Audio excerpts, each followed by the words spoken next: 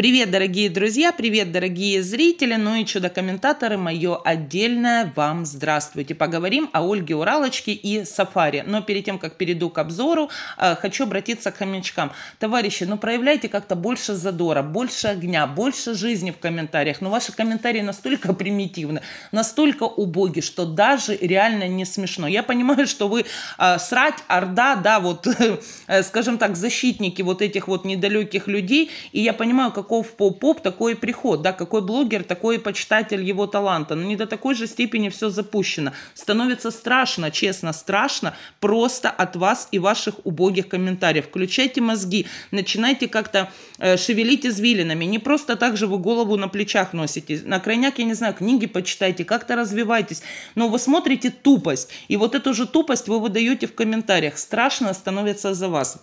Я даже не буду а, какие-то там орфографические ошибки озвучивать. Ну, почему? Потому что это как-то глупо. Я понимаю, что люди могут смотреть а, с разных стран, и не для всех русский язык родной язык, и не все умеют там на нем грамотно говорить, писать, это все понятно. Но хотя бы, я не знаю, как-то мысли свои нормально корректируйте и озвучивайте, потому что кроме зависти, у вас, по-моему, убогих болезнь, болезных, да, вот это зависть и бумеранг, ни на что больше не хватает. Это ваш уровень, ваш удел, хотел завидовать подобному. У нормального человека ни одного в мозгу э, просто не уложится, что подобным людям можно завидовать. Это вы какие-то, я не знаю, по жизни, наверное, обиженные, оскорбленные, униженные, если вы подобным людям э, в состоянии завидовать. Потому что когда человек кричит зависть, это то чувство, которое он пережил на собственной шкуре. Он знает, что это такое, пытается переложить свои чувства на других. Вот продолжайте молча завидовать. Если уже пишете, то что-то адекватное ваяйте.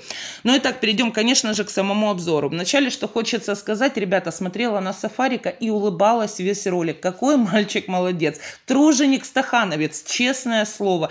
Днем снежок чистит, а вечером угрозы ваяет. Молодец, шедеврально. И хочется сказать, Сафарик, не не пались так тупо. Создавай левые аккаунты, бомби с них. А так как-то, ну, видно, как вас это прогребло, задело, раз ты лично прибежал на канал и пытаешься писать свои гадости. И, кстати, а, силу твоего интеллекта очень видно по этим э, действительно комментам. Ты вместо того, чтобы лишнее время убивать на комментарии, возьми книгу, почитай, и будет тебе счастье. Не хлебом единым жив человек. Не только о жрачке нужно думать в этой жизни, а как-то все-таки духовно развиваться и, конечно же, наполняться. А так, ребята, я вот послушала их ролик, это просто шедевр. Это такой интересный набор э, слов – я просто сижу и думаю, да, вот кто это может смотреть, особенно когда одну и ту же фразу повторяют по 5 по 6 раз. И вы знаете, единственное, что восхитило меня в этом ролике, о том, как э, Оля с Сафариком переживают, что она не позавтракала. Обед, завтрак, Оля покидала снег и, возможно, потеряла целых 100 грамм веса. И опять-таки, да, когда она решила это все восполнить, Сафар ей напомнил, что она еще и не позавтракала, возможно, еще больше потеря массы произошла. И на самом деле страшно то, что человек понимает, да, а, что это уже не здоровая полнота, это уже действительно ожирение в какой-то явной а, стадии, да, и при этом она считает, что потеря 100 грамм может как-то спасти ситуацию. Сама понимает, что нужно есть меньше, нужно заботиться о себе, о своем здоровье, возможно, присесть на какую-то диету, и вместо этого она берет опять-таки пирожки, ждет сейчас растопить самовар и опять нажраться. Для меня это как-то странно и непонятно. То есть, если человек осознает, но при этом ничего не делает, значит, это уже какой, какая-то степень наркомании, потому что человек, по большому счету, зависим от еды, да, вот как наркоман от дозы. Вот так она, походу, зависима от еды. Если человек считает часы, сколько она не поела – и мне хотелось сказать, что, Оля, потеря одного завтрака и обеда – это очень мало в, случае, в твоем случае пропустить, да, для того, чтобы потерять вес. Здесь нужно действительно обращаться к специалистам, сдавать анализы, после этого идти к диетологу, и только этот человек сможет помочь и составить, скорректировать рацион питания, потому что действительно это страшно. То есть я на нее посмотрела и просто удивилась. Удивили, кстати, меня отдельная тема комментарий. Наконец-то их открыли. Что я там увидела? Ребята, вы знаете, это какое-то стадо ну, в моем понимании, не совсем адекватных и здравомыслящих людей, либо людей, которые вообще не понимают, что на этом канале произошло, и продолжают писать хвалебные оды. Это дико, это жутко, это странно и непонятно. И вот мне интересно, а, как люди после этого остаются на этом канале, как они пишут лизательные вот эти оды, да, хвалебные вот так всех умыла эта пара и продолжаются вот им э, лизать продолжают им просто в тупую подлизывать. Вы знаете, когда их начинают хвалить в комментариях, мне вообще становится смешно. Мне вот все время возникает вопрос, а что нахваливают? За что конкретно хвалят? То есть, э, возможно, увидели какую-то такую работу, да, э, конкретную, которую не увидела я. То есть я не могу понять, да, общее восхищение этим контентом. Оля не работает, сидит дома, печет пироги, Сафарик монтирует ролики. В чем они молодцы, я объективно понять не могу вообще. Ну и, конечно же, в этом ролике Ольга нам рассказала, что э, будет Рождество, они его будут отмечать, приготовятся, и нам, конечно же, все покажут. Очень ждем Рождества. Интересно, что на Рождество Сафарик нам продемонстрирует на пару со своим другом. Будет очень интересно посмотреть. Ребята, посмеялась также в ролике с чистки снега, очищали они крыши э, тепличные, и вот ассоциации Оли. Это нечто. То есть для меня, например, снег падал кирпичиками, да, его чистили, или снег падал, вот э, формировался в кирпичики. У Оли он формировался в пирожки и э, пирожки, а, и в пироженки. Представляете, чем наполнена эта женщина? Это, походу, насколько нужно хотеть жрать, чтобы смотреть, как сыпется снег, и были ассоциации именно с пирожками и пироженками. Ну и, конечно же, отдельно хочется отметить, как они э, отморозки пытаются показать хороший контент. Такое милое видео. После вот этого всего срача у себя на канале, после того, как они умывали свою же аудиторию зрителей, как ни в чем не бывало, приехали в минус 18 покидать снежок. Вообще, ребята, логика железная. Я так и не поняла, к чему это сделали, но, видимо, по ходу нужно было снять контент. Вот они и поперлись на дачу, прочистили там какие-то 3-4 дорожки, позбивали с одной крыши крыше снег, но уморились они знатно. Ольга так и хочет уже ехать домой, э, пить, свои, пить чай, закусывать своими пирожками, и будет ей счастье.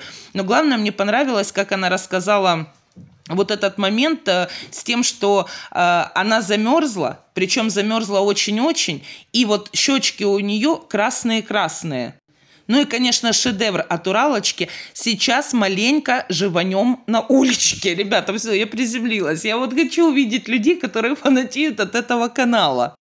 Ну и следующий от нее же шедевр. Вон, ну чё, у меня прям щеки красные.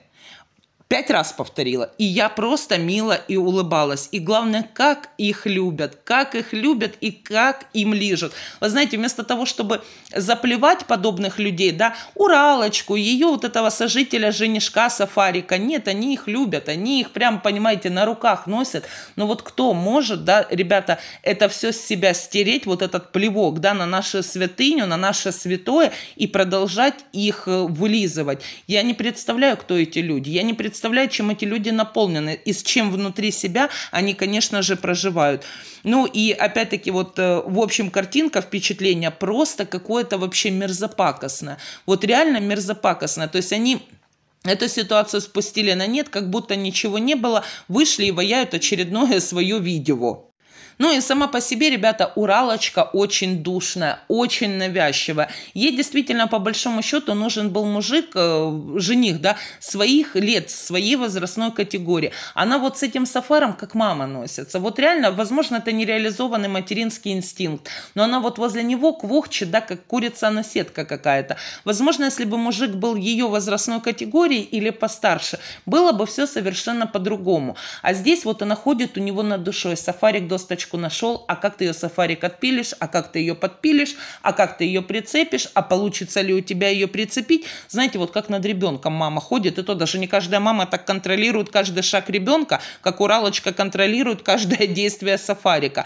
А здесь, ну, очень ее много, очень навязчивая и очень такая вот, знаете, э, женщина, которая душит. Вот она конкретно душит. Стала над душой, и что ты тут делаешь? Блин, я бы уже не выдержала, послала. Ну, понятно, нужно запилить контент, поэтому все способы хороши, и будет это все терпеть.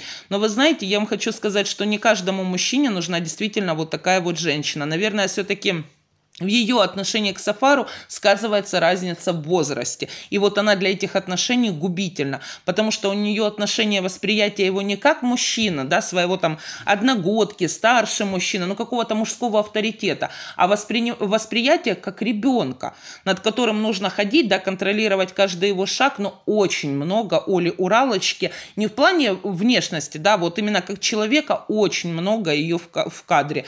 И вот это постоянно замерзла, примерзла, возникает вопрос, нахрен ты туда поперлась минус 18, если ты замерзла и при, примерзла. Я бы сидела себе в тепле, э, валялась, читала книжечку, фильм какой-то смотрела, и будет счастье. Но нет, здесь, конечно же, нужен был контент. Ну вот так вот, ребята, как-то смешно и странно для меня это все выглядело. Конечно же, продолжение следует, а пока я со всеми прощаюсь, до новых встреч!